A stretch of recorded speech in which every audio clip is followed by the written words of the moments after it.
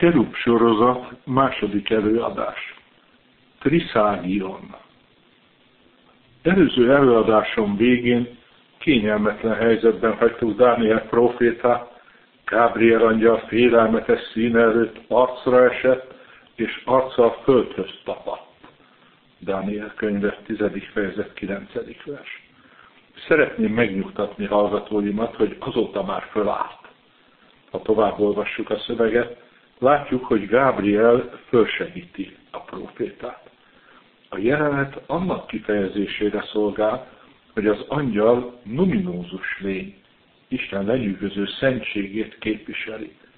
Szó sincs azonban arról, hogy az angyalok valamiféle középlények volnának Isten és a teremtmény között. Ilyen középlény nem lehetséges. Isten és teremtményei között végtelen a különbség. Az angyalok teremtmények és semmi mások, bár az emberhez képest magasabb rendű teremtmények. Tisztelettel kell tekintenünk rájuk, de nem szabad imádnunk őket. Amilyen hiba profanizálni az angyalokat, felhőkön ugráló bohócoknak, vagy szárnyas szexbombáknak ábrázolni őket, ugyanolyan hiba az imádás szándékával leborulni előttük. Igaz, az Ószövetség legrégebbi szövegeiben az Úr angyalának megjelenése magának az Úrnak megnyilvánulását jelenti, mint például a Csipkebokhor jelenetben, kivonulás könyve, harmadik fejezet első verstől. A későbbiekben azonban a teológiai gondolkodás fejlődése szabatosan megfogalmazza a különbséget az Úr személye és az Úr küldötte angyala között. A jelenések könyvében, amikor Isten angyala szól Jánoshoz, ő imádni akarja a hozzábeszélőt, de azt tiltakozik. Idézem, ekkor a lábához borultam, hogy imádjam őt, de ő így szólt hozzám, vigyázz, ne tedd ezt, mert a te szolgatásad vagyok, és testvéreidé, akiknél Jézus tanúságtétele van. Istent imád. Jelenések könyve, 19. fejezet, 10. vers. Egyedül Istent illeti imádás. Az angyalok nem imádás tárgyai, ellenkezőleg az angyali seregek velünk és minden teremtménnyel együtt imádják Istent. Ez az imádás ugyanúgy megilleti az emberré lett Istent, Krisztust, az Isten bárányát is. Idézek a jelenések könyvéből, 5. fejezet 11-től 13. versig, sok angyalt láttam, és hallottam szavukat a trón körül, és az élőlényekért és a vénekét, és számuk ezernyi ezer volt, akik hangosan azt kiáltották, méltó a bárány, akit megölte, hogy övé legyen a hatalom és gazdagság, a bölcsesség, az erő, a tisztelet, a dicsőség és az áldás minden teremtményt, amely az égben van, a földön és a föld alatt, és amely a tengeren és a tengerben van, mindezeket hallottam, amint azt mondták, a trónon ülőnek és a báránynak áldás, tisztelet, dicsőség és hatalom örökkön örökké, idézetben zárva. A bárány imádása rendkívül fontos. A megtestesülés révén ugyanis az angyalokénál alacsonyabb rendű emberi természet isteni személyként kap önálló valóságot. A fiú személyében szubzisztál. Ezért az angyalok fölé kerül, és imádásban részesül tőlük. Ezt az imádást csak a bukott angyalok próbálják megtagadni Krisztustól, akikről később lesz szó. De ők is kénytelenek, ha kelletlenül is, elismerni a bárány isteni méltóságát. Jézus nevére hajoljon meg minden térd az égben, a földön és az alvilágban. Filippi levél második fejezet tizedik vers. Ez a Jézus Krisztusnak való alárendeltség lényeges eleme az új szövetség angyaltanának, és megkülönbözteti azt minden hamis angyalkultusztól. Előző előadásomban idéztem egy versemet, amely a következő részletet tartalmazta, mit tudnak az extatikus szeráfok rajongásáról, a triszágion küszöbrázó kiáltásáról, omló lavinájáról, a túláradó hömpölygésről, mely Istenbe temet. Ezek a sorok Izajás próféta könyvének arra részletére vonatkoznak, amely a próféta meghívását tartalmazza, és egy teofániával, Isten jelenéssel kezdődik. Idézem szó szerint, abban az esztendőben, amikor meghalt Uzia király, láttam az urat, amint magas és kiemelkedő trónuson ült, és ruhájának uszája betöltötte a templomot. Szeráfok álltak mellette, hat-hat szárnya volt mindegyiknek, kettővel betötték arcukat, kettővel betötték lábukat, és kettővel repültek. Az egyik így kiáltott a másiknak, Szent, szent, szent a seregek ura, betölti az egész földet dicsősége. Megrendültek a küszöbök alapjai a kiáltó hangjától, és a ház betelt füsttel. Izajás könyve, hatodik fejezet, elsőtől negyedik versig. Nagyon világos, hogy a szeráfok szerepe itt Isten imádása. A küszöbrázó kiáltáson kívül ezt fejezi ki az arc eltakarása is. Ugyanígy takarja el arcát Isten színe előtt Mózes is a csipkebokor jelenetben. A szeráf szó valószínűleg az égni igével kapcsolatos és tüzes, lángoló jelentésű. Hangzása emlékeztet a kígyó szóra is, ezért egyesek fölül ember alul kígyó testű lényeket látnak bennük, de ennek nincs alapja, hiszen a szöveg szerint lábaik vannak. Sokkal jobban megfelel a bibliai hely tartalmának, ha Isten imádásában lángoló felsőbb lényeket látunk bennük, akik körülveszik Isten trónusát. Szeráf annyi, mint lángoló.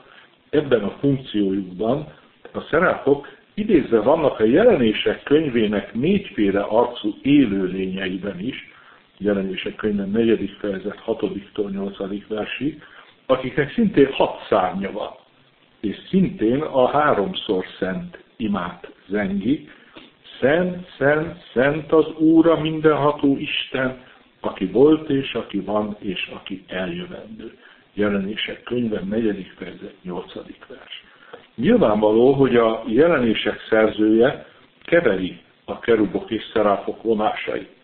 A középkori teológia hajlandó volt azt gondolni, hogy minden külön bibliai megnevezés külön angyalfajtára vonatkozik, ennek alapján beszéltek kilenc angyali karról, a kerubokat és szeráfokat két különböző angyali karnak vélték, méghozzá a legmagasabb rendűeknek. Nos, az angyalok minden bizonyal sokfélék, de nem kell azt gondolnunk, hogy a Szentírás szabatos fogalmakkal ismerteti az angyali hierarchia részleteit. A kinyilatkoztatás soha nem foglalkozik önállóan az angyalokkal, hanem kizárólag Isten szolgálatával kapcsolatban. Kíváncsiságunkat nem elégíti ki öncélú részletekkel. Az ábrázolás pedig, mint már mondottuk, nem szabad összetéveszteni a szellemi tartalommal, amelyet kifejez. Mind a kerub ábrázolások, mind Izajás szerápiai, mind pedig a kettő keverése a jelenések könyvében magas rendű angyalokat jelentenek, akiknek titokzatos vonásairól keveset tudunk. De azt tudjuk, hogy lényük szinte feloldódik Isten határtalan szentségének imádásával, és egyúttal határt szab a profán teremtésnek, amely nem közelítheti meg Isten. A teológiai tartalmat jegyezzük meg, a részletek után kíváncsian megkutassunk. Mindent, amit az angyalokról tudunk, Isten kedvéért tudjuk, nem öncélúan. Ezen a mulandó világon senki sem tudja megírni az angyalfajok természetrajzát. Visszatérve a háromszor szent imára, görögül triszágionra, a háromszori ismétlés fokozás, a teljesség kifejezése. A háromszor szent Isten végtelenül szent. Szent, szent, szent a seregek ura. Ez a kiáltás Isten imádásának drámai összefoglalása. Jegyezzük itt meg, hogy a keleti liturgiában a triszágion megnevezés egy másik imádságra is gyakran vonatkozhat, amely szintén gyönyörű. szent Isten, szent erős, szent halhatatlan irgalmaz nekünk. A seregek eredetileg Izrael harcoló csapatai. Később azonban a mennyei seregek, olykor a csillagseregek, máskor az angyali seregek. A szó így összefoglaló jelentést nyer. Idézem szó szerint, Hág bibliai lexikonából, mint hogy a profétáknál szembeötlően gyakori a kifejezés, feltehető, hogy a seregek egyetemes értelmű. Az ég és a föld minden hatalmasságai és erői, amelyek engedelmességgel tartoznak Jahvénak. Idézet bezárva. Ezen az értelmezésen alapul a latin liturgia Sanctusának magyar szövege, amely a seregek urát így adja vissza mindenség ura. A római misekönyv második közös prefációja így imádkozik Istenhez. Te jóságodban megalkottad az embert, és ám bár igazságot szerint kárhozatot érdemelt, irgalmatból mégis megváltottad Krisztus, ami Urunk által. A te fölségedet általa dicsérik az angyalok, és imádják az uralkodó szelleme. Az égi hatalmak rettegik. A mennyei seregek, az ég erői, és a boldog szerát kórusok újongva együtt tisztelik. Add kérünk, hogy az ő szavukhoz társuljon szózatunk, és alázatos megvallással mondjuk, Szent vagy, szent vagy, szent vagy, mindenség Ura Istene, dicsőséget betölti a mennyet és a földet. A prefáció, a hálaadó ének, a hit misztériumainak ünneplése, mely az imádás magaslataira emel. A csúcson már egy szintre kerül az angyalokkal, és mielőtt a Sanctus, a Triságiont imádkozni kezdené, mindig tudatosítja ezt a tényt néha rövidebben, néha bővebben. A Sanctusszal az imádkozó közösség már a mennyei liturgiában vesz részt, a kerubokkal és a szeráfokkal együtt. Az angyalok, mint Máté 18.10-ben olvassuk, szüntelenül látják a mennyei atya arcát. Istent látni pedig annyi, mint birtokolni a hiánytalan jót. Mint Nüsszai Szent Gergely mondja, idézem, aki tehát látja Isten, az ezzel a látással minden néven nevezhető jót is birtokol. A véget nem érő életet, az örök romolhatatlanságot, a halhatatlan boldogságot, a határok közé nem zárt országot, a meg nem szűnő örömet, az igaz világosságot, édes társalgást a Szentlélekkel, a fel nem fogható dicsőséget, a szüntelen boldog újongást, igen, minden jót. Idézett bezárva. A szent angyalok teljes és túlcsorduló gazdagságban fogadják be a határtalan szeretetet, újongó harmóniát, áradó gyönyörűséget. Extatikus boldogságban imádják Istent. Liturgiánk legszentebb pillanataiban összhangba kerülünk velük. A Triszágiont imádkozva egybe olvadunk a mennyei liturgiával. Hódolattal fogadjuk a menny és a föld, a teremtő és a teremtmény nászát. De ezt mindig Krisztus, ami Urunk által érjük el. Ő általa, ő vele és ő benne. A megtestesülés felfoghatatlan misztériuma, az evangélium áramütésszerű felrázó ereje, a keresztre feszítés borzalma a föltámadás újjáteremtő extázisa mind szükséges volt ahhoz, hogy ez a mennyei szint megközelíthető legyen számunkra. Azért minden olyan angyalkultusz, amely Jézus Krisztustól és az ő húsvéti misztériumától független, gyökeresen hamis. Maguk az angyalok is a megtestesült igében imádják az atyát. A te fölségedet általa dicsérik az angyalok hallottuk a fent idézett prefáció részletben. Ha Krisztus kihagyjuk, hamis angyal tisztelet áll elő. Már az új szövetség keretkezésének korában előfordult ilyen.